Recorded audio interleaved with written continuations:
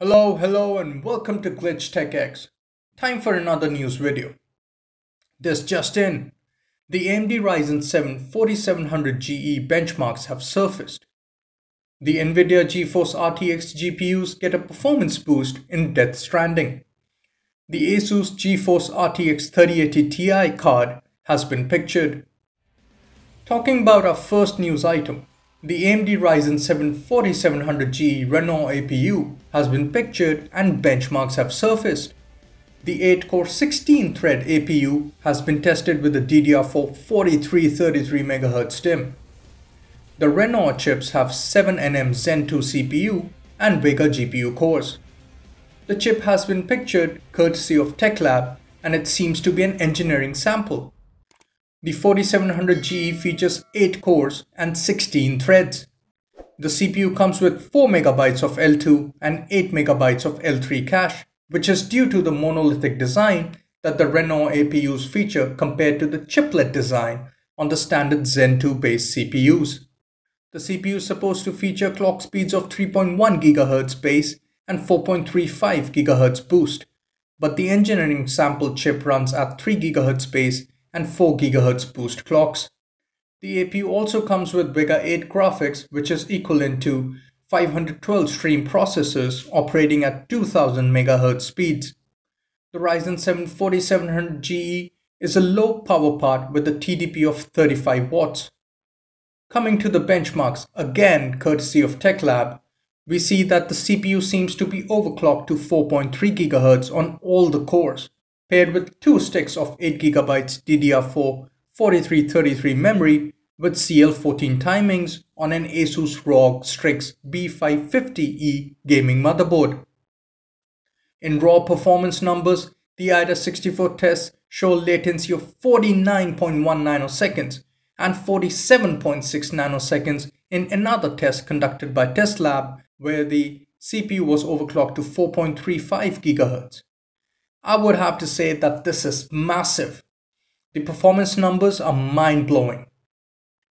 Moving on, the NVIDIA GeForce RTX GPUs get a performance boost in Death Stranding using DLSS 2.0.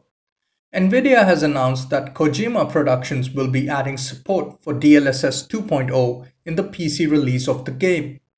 This is huge for NVIDIA as DLSS 2.0 will bring significant performance gains and better image quality. The tensor cores on the RTX cards seem to be doing their job, leveraging AI processing that accelerates gaming performance with DLSS. The game was tested using multiple RTX cards from entry level to the top of the line, the 2080 Ti. In a nutshell, we see a gain of 60 plus frames per second for the entry level RTX cards and around 100 plus frames per second for the 2080 Ti. The RTX 2080 Ti sees a massive 40% improvement and delivers 105.5 frames per second with all in-game settings maxed out at 4K resolution, which is super impressive. Even the entry-level GeForce RTX 2060 delivers a huge performance gain of up to 47% and delivers a smooth 60.1 frames per second on average. At 1440p, you can very well get up to 144 frames per second at max settings with the 2080 Ti and the 2080 Super, leading to a gain of around 28%.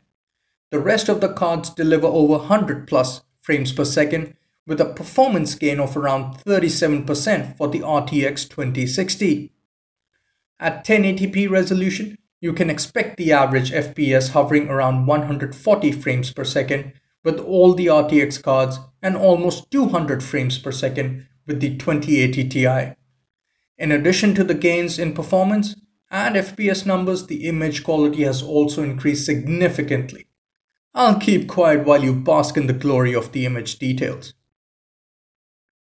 Well, my GPU had a tough time in even displaying the JPEG images, let alone play the game. This is some pretty impressive sh. Okay, moving on. While we're still on the topic of NVIDIA RTX cards, the ASUS GeForce RTX 3080 Ti graphics card has been pictured. the upcoming GeForce RTX 30 series graphics card from the Green team based on the Ampere GPU architecture are no mystery. This leak has been brought to light by VideoCardz. It seems that Nvidia's board partners are busy readying their custom designs for the RTX 30 series cards and one such card, the Asus ROG Strix GeForce RTX 3080 Ti has been leaked. It is reported that the custom design was showcased during an internal ASUS presentation, so there might be changes between now and the time the card is released. Please bear in mind that this is a leak and nothing is set in stone as of now. Well, that's it for today's video. We're witnessing a lot of action-packed releases, leaks and benchmarks. What are your thoughts about AMD's next-gen Renoir APUs? I think Death Stranding with DLSS would look amazing. What do you think? With the advent of RTX 30 series cards, we might see a whole new era of higher performance, efficient processing, and stunning visuals ushering in. What do you think about the impact the Green team is making? Let's discuss this in the comments section below. Do subscribe to my channel for more videos around PC hardware, PC tech discussions, gaming videos, and a lot more is in store. Do subscribe click the bell icon and stay tuned. Thank you for watching and I'll see you in the next video.